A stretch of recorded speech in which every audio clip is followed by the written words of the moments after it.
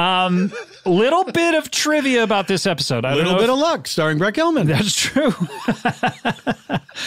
Do you remember what was going on in the world during this episode when we taped this episode? I feel. Oh, what was the date again?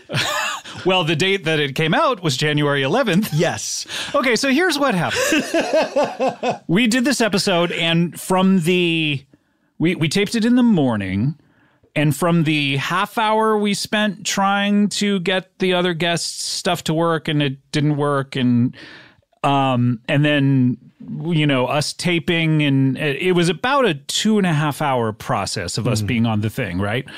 And um, when when I was taping at home, uh, and this was on on a Wednesday, I believe. Uh, our gardeners usually come on Wednesday, and I have uh, my uh, coworker.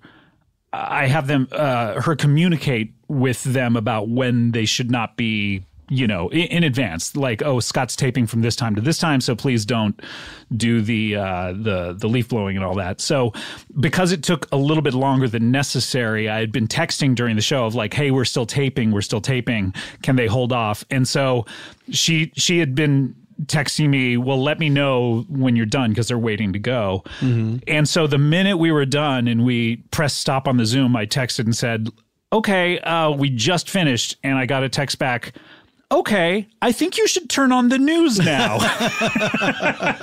and I said, Paul, uh, she's saying we should turn on the news, mm. and I've I've I've not asked you about the particulars of this, and you said, "Oh yes, it appears there is a huge insurrection going on at the Capitol."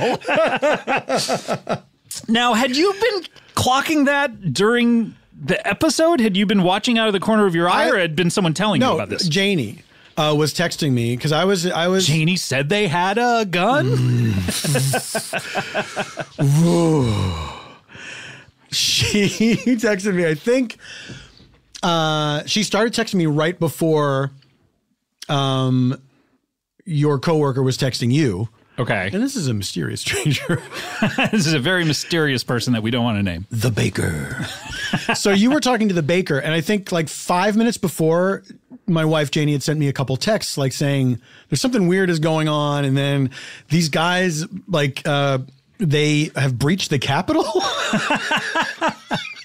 it's not funny, but uh, the, the, the situation what is funny. What a wild text to get!